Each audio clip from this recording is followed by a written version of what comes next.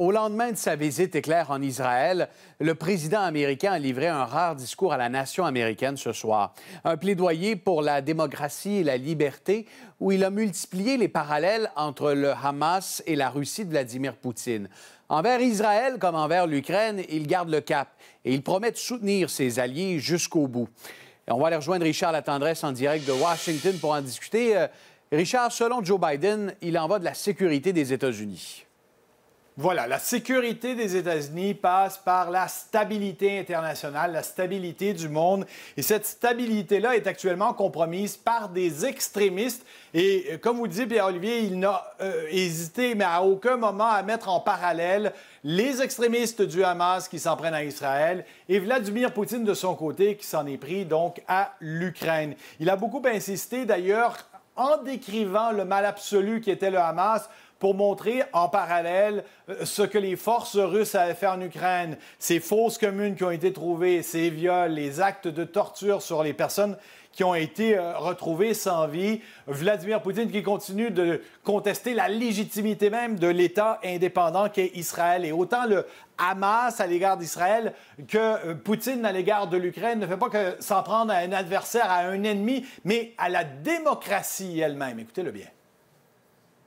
Hamas and Putin represent different threats, but they share this in common.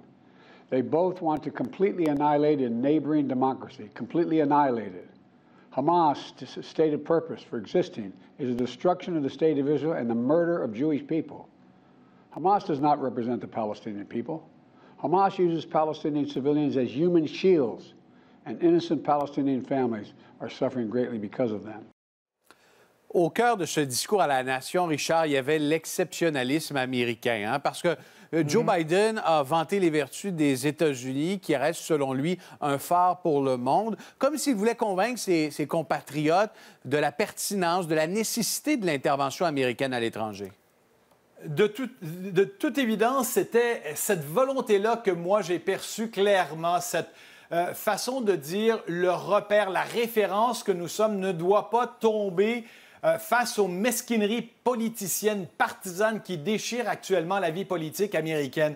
Il est allé plus loin et, moi j'ai senti, et d'ailleurs il a abordé ce thème-là, il est allé plus loin en disant, vous savez, depuis une douzaine de jours à la suite de ce qui s'est passé en Israël, on a vu à quel point les montées d'intolérance chez nous ont pu aussi déchirer nos communautés, l'antisémitisme, l'islamophobie. Il faut savoir se retenir, ce n'est pas nous tout ça. Écoutez-le bien. In recent years, too much hate has given too much oxygen, fueling racism, the rise of anti Semitism, Islamic phobia, right here in America. It's also intensified in the wake of recent events that led to the horrific threats and attacks that both shock us and break our hearts. So I caution the government of Israel not to be blinded by rage.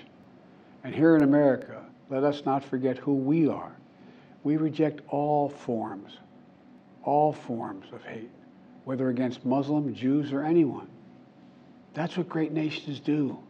And we are a great nation. Je termine, Pierre-Olivier, en soulignant que c'était une chance inouïe pour euh, Joe Biden d'apparaître comme un elder statesman, l'homme d'expérience qui est capable de regarder la situation de haut, alors qu'ici, la vie politique est déchirée et qu'on voit très bien à l'étranger, en Ukraine, en Israël, comment les choses peuvent mal aller. Merci beaucoup, Richard. Je vous en prie, au revoir.